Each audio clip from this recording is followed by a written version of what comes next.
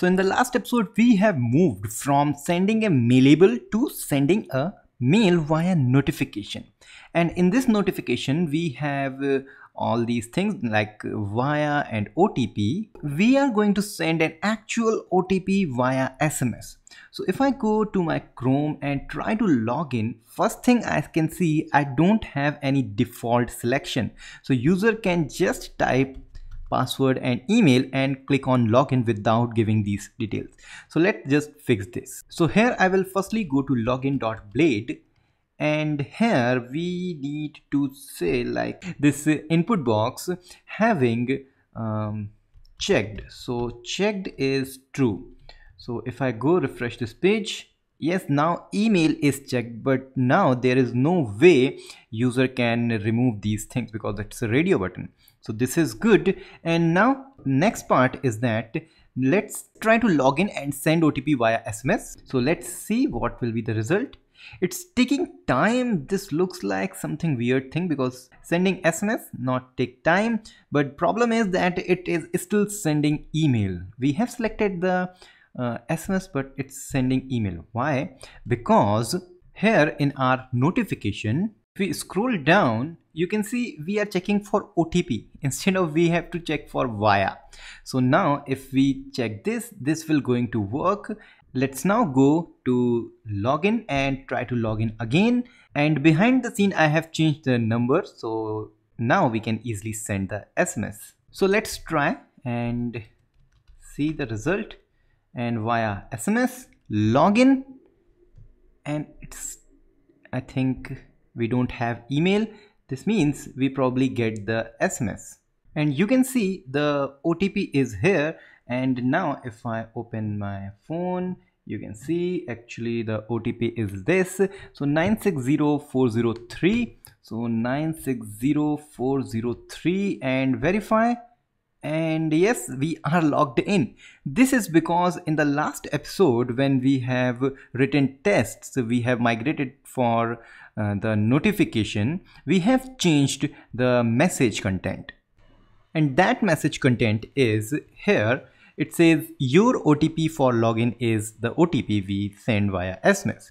So this is very easy. We have done that. That means we can send uh, OTP via SMS or via email. But the problem is here you can see we are still defining two. We don't have to define here. So this uh, the channel or I have created notification channel I have created which is uh, channel is having this functionality that if you provide this to method then it will get this number. Otherwise what you can do you can do this thing that on your user model instead of returning email you can just return the phone number.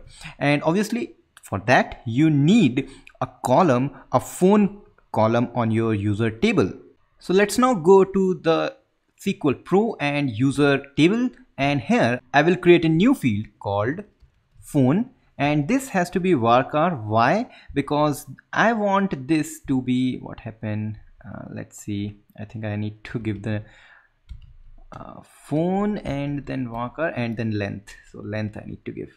Okay. So this means because here on the phone i need to give the exact phone number with the country code that means i want plus sign to be here if you don't want to do this you need to manually add plus sign while using this Karix SMS API and for other APIs like for Nexmo, for Twilio, you probably have to check what they are, they are doing. Some uh, SMS provider doesn't include plus sign they said okay if you give the all number just with the uh, country code i will take that and will take care about the uh, plus sign. Some says you need to add the plus. So Karix says you need to you need to give the exact number. So exact number i will give here. So the number I have already given here on the table I have. So I'm returning that number here. And this means if I go here I don't need to give this to method here and if I don't give this it will take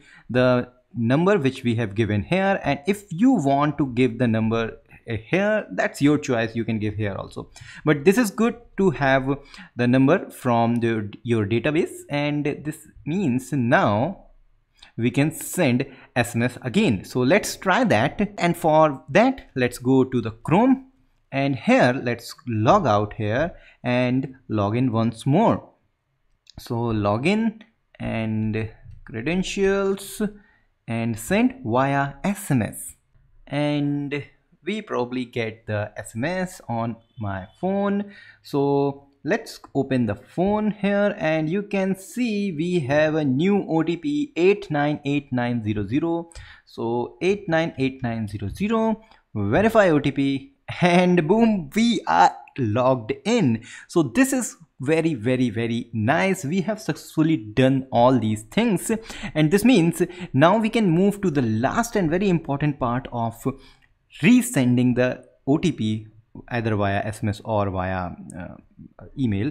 So this is because sometime what happened the email doesn't uh, received by the user or maybe the sms doesn't received by the user. So at that point here we need a one more button to resend. So because i have logged in i have one more otp here. But now we need that. So that will that we will do in the next episode. And if you have liked these episode like these series and then just go and subscribe to this channel if you have not already done that. And don't forget to hit the bell icon to get instant notification. You can also follow me on facebook twitter and instagram then you can share these videos and we will meet in the next episode. Till then goodbye